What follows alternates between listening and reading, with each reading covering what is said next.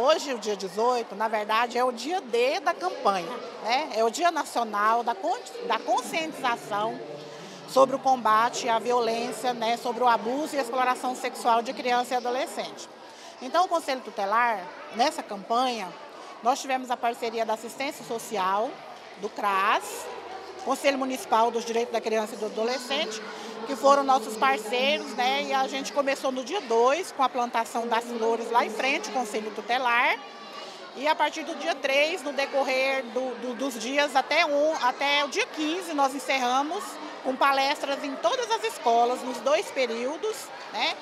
E hoje esse cinema sobre o abuso, né, para trazer a público, principalmente para os pais, porque nas escolas, é, as crianças do, do, do, ensino infantil tiveram a, a palestra é, ilustrativa, lúdica, né, e aí os pais não têm esses, é, essas informações. Então a gente pensou juntos, né, com a assistência social, o CRAS e o Conselho Tutelar, então a gente pensou que seria bom para estar tá chamando a sociedade para essa responsabilidade também, e aí a gente pensou nesse cinema que está acontecendo hoje. E está sendo um sucesso recorde de público.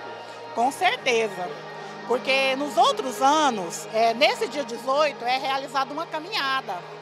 Só que essa caminhada ela veio perdendo força, né? E com esse cinema hoje a gente surpreendeu, nós estamos muito felizes porque acredito que aqui tem mais de 200 pessoas e a gente está muito feliz com essa resposta do público.